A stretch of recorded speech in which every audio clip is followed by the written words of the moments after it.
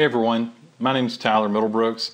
I'm a radiological technologist and health physicist, and today we're going to go over annual radiation safety training for housekeeping, environmental, and ancillary staff. Uh, our outline uh, radiation terms, ALARA, what does it mean? Personal exposure, radiation safety basics, radiation signage, biological effects of radiation. First, what is radiation? Radiation is energy in motion.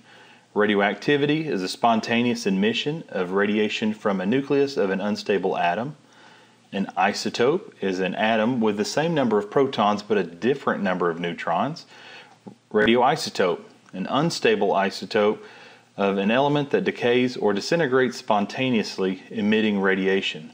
Approximately 5,000 natural and artificial radioisotopes have been identified. There are two different types of radiation. The first one is non ionizing radiation. Uh, this is radiation that does not have sufficient energy to dislodge orbital electrons. Uh, example of this are microwaves, ultraviolet light, lasers, radio waves, infrared light, and radar. Uh, the second type is ionizing radiation. This is radiation that has sufficient energy to dislodge orbital electrons such as alpha particles, beta particles, neutrons, gamma rays, and X rays. Radiation spectrum. There is a pretty broad uh, spectrum. Uh, it goes all the way from high energy gamma rays all the way to low energy uh, radio waves, uh, and then there's visible light just about right in the center radioactive sources. There are radioactive sources all around us, uh, including nuclear medicine, X ray, cosmic radiation, nuclear power plants, food, uh, radioactive waste, and then some consumer products uh, actually have radiation in them as well. ALARA. ALARA is a guide that we use to help improve radiation safety. Uh, it stands for as low as reasonably achievable. And how do we do this? Uh, one, we decrease the time around any kind of radioactive source, which reduces our radiation exposure. Uh, also, we could increase the distance between us and a radioactive source. And uh, we could also add shielding. Uh, so, time, distance, and shielding.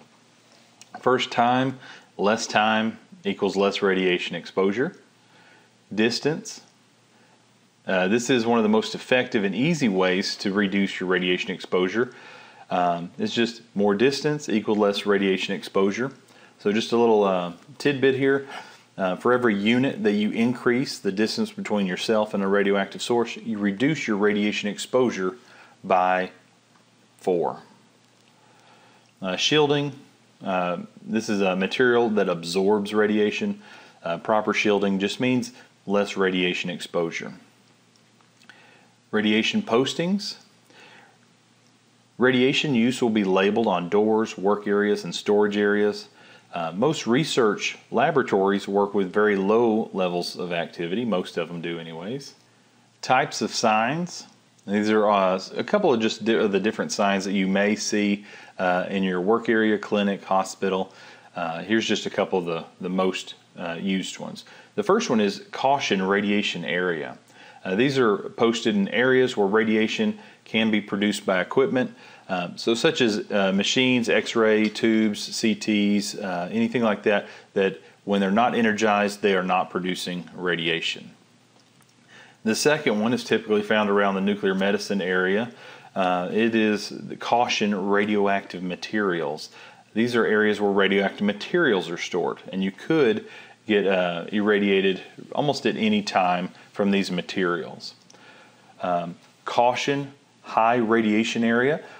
Now, if you are uh, taking this class and you have the ability to get anywhere near a caution high radiation area, uh, you probably need to talk to your supervisor, administrator, radiation safety officer to um, to see if additional education because you probably don't need to be working in this area if you're taking this annual uh, radiation safety training. Uh, annual radiation exposure limits. Uh, this right here are the limits for a occupational exposed worker. So um, an RT, a physician, anybody that works with radiation, these are their limits. Um, just real quick, whole body they can get 5,000. millirem.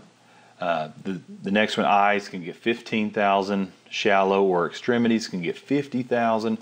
Um, uh, a pregnancy or, or, the, or a fetus can have uh, 500. That's over nine months. Now, if you're uh, taking this course, it's going to be you're going to fall under the general public portion, which is only allowed 100 uh, millirems per year or two millirems in any one hour. So uh, this is a uh, a very uh, very very small amount compared to a radiation worker. Who should wear radiation dosimeters or, or badges? Uh, anyone who's likely to exceed 10% of their annual limit. Again, most of you guys will have 100 will be your limit. Uh, so that is a pretty small amount, but if you are able or potentially likely to exceed 10%, then you probably need to wear a dosimeter. Um, those who would like to, uh, also minors and declared pregnant workers, uh, should wear a, uh, radiation dosimeter. This right here is just a couple different types of badges that are available. Um, there's some whole body badges uh, right there in the middle. It's a ring badge to evaluate how much radiation uh, your hand's exposed to. A couple misconceptions about radiation. Uh, first, radiation does not give you superhuman human powers. Uh, second, radiation will not make you glow in the dark. It just won't. Summary of biological effects of radiation. Radiation may deposit energy into your body, causing DNA damage, creating ionizations in the body, which could lead to cancer causing free radicals, which may lead to some type of biological damage. So radiation, it is it is uh, dangerous, but uh, if you respect it, keep your distance. If you ever have any questions, please ask somebody uh, that, that knows a little bit more about it. Uh, if not, just stay away from it and uh, get some clarity whenever you have a chance. Uh, response to radiation depends on the, radi- the total dose, the dose rate, radiation quality, and stage of cellular development at the time of the exposure. The most and least radiosensitive cells. Low uh, sensitivity cells include mature red blood cells, muscle cells, ganglion cells, mature connective tissue. High sensitivity uh, include gastric mucosa, mucous, uh, mucous membranes, esophageal epithelium, ur, ur, uh, urinary bladder epithelium. Uh, very high sensitivity cells are primitive blood cells, intestinal epithelium, uh, spermatogonia, uh, ovarian follicular cells, lymphocytes. Comparison of uh, comparison effective dose. Um, if you look over on uh, the very, very bottom right, that green box, that is where you guys will fall into uh, the general public whole body regulatory limits, um, uh, point one. And um, uh, if you go up two boxes, that green is the whole body limits for uh, radiation worker. And pretty much anything below one more box up, no clinical symptoms seen below 10 rem. Okay, so you're getting 0.1 as your annual limit. Well, you don't even start seeing any kind of uh, issues as far as radiation exposure until you get above 10. So.